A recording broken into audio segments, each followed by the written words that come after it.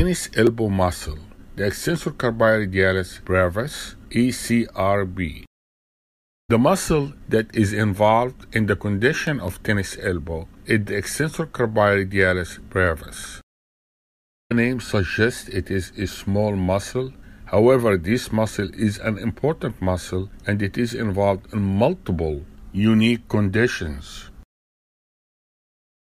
This muscle originates from the lateral epicondyle of the humerus, they call it the common extensor tendon.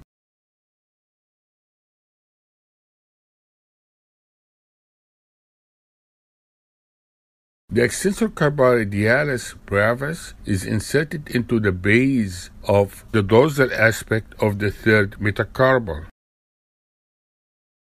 The extensor carpi longus is inserted into the base of the second metacarpal bone.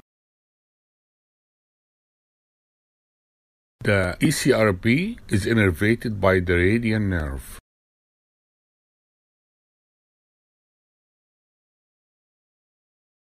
The function of the muscle is to extend and abduct the hand at the wrist joint. The extensor carpi brevis is located in the second dorsal compartment on the radial side of the Lister's tubercle.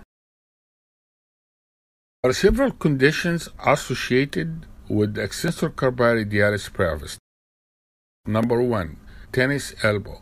Tennis elbow is called lateral epicondylitis.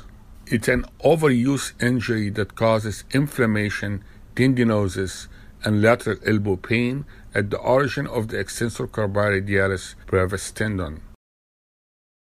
It affects about 50% of all tennis players, and it is the most common cause of elbow symptoms in patients that complain of elbow pain. Tennis elbow involved extensor carpi radialis brevis tendon origin. The pathology of the extensor carpi brevis tendon in tennis elbow shows disorganized collagen, vascular hyperplasia, and fibroblast hypertrophy. The condition usually starts by micro tears of the origin of the extensor carpi brevis, and that's precipitated and aggravated by repetitive wrist extension and forearm pronation. About 5% may have associated radial tunnel syndrome. In tennis elbow, the patient will complain of point tenderness around the lateral epicondyle. In radial tunnel syndrome, the point of tenderness will be about 3 to 4 centimeter distal and anterior to the lateral epicondyle, and that should be in the differential diagnosis of tennis elbow.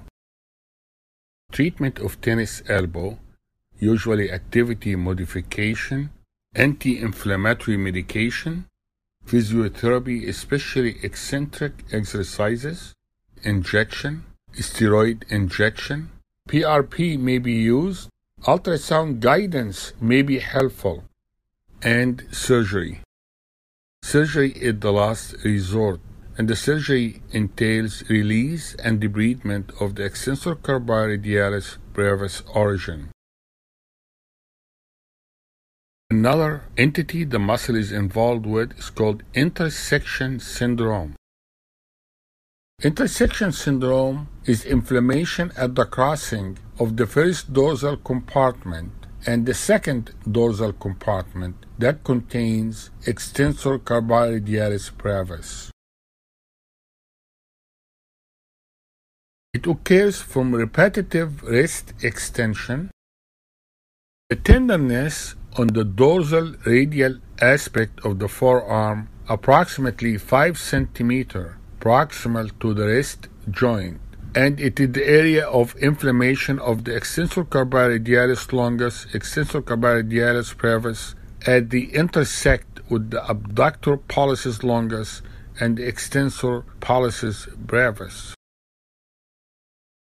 The condition is usually treated by rest splinting, steroid injection, and rarely by surgery. Number three, the extensor carpi brevis muscle is important in dorsal approach to the radius. The Thompson dorsal approach to the proximal radius may be used for exposure of the posterior aspect of the radial shaft. The incision is made in between the two muscles of the extensor carpi radialis brevis and the extensor digitorum. Number 4.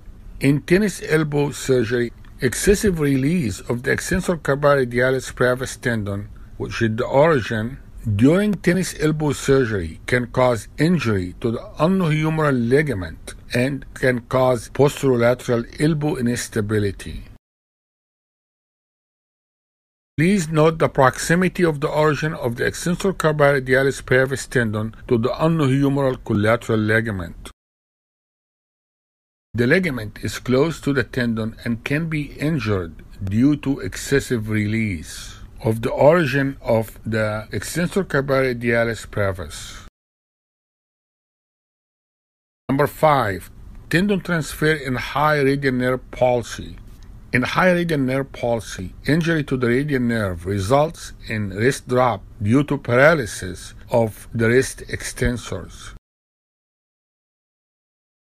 The pronator teres transfer to the extensor carpi radialis brevis is a very popular tendon transfer in high radial nerve palsy and it is used to restore wrist extension.